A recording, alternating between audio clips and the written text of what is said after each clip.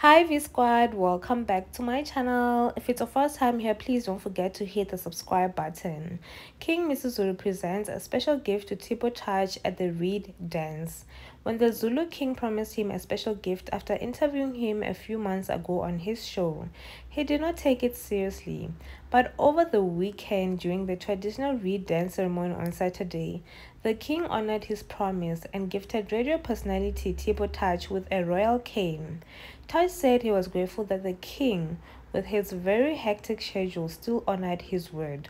Firstly, it was admirable to see the king honoring his word, given the fact that he invited me in July when he visited our show. Touch received the gift at Enyokeni Royal Palace on Saturday and it is said to be a recognition of the Molefe's royal descendants. Touch expressed his excitement and gratitude for the gift. According to the Metro FM DJ, he is of the prominent Molefe bloodline, who are the royal family. Speaking about the gift, Touch expressed his gratitude, saying, It is an honor to be recognized by the king.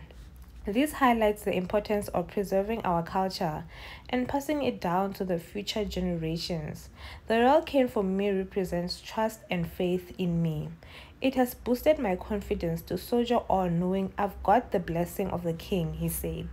Do comment on the below and let us know what you think. Bye everyone.